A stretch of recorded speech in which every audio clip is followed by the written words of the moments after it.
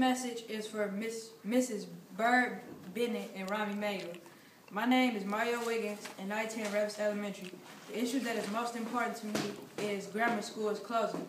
It is an important issue because I am in grammar school, and it could affect my education. I think that you shouldn't close grammar schools because it could influence people to conduct more gang violence, which is a wrong thing to do if you want to have a successful life. If you are in grammar school and it shuts down, we will have to go to a different school, which could cause trouble. Students could get hurt or killed if they cross the boundaries of a gang. No matter what the grade is, people can still get harmed.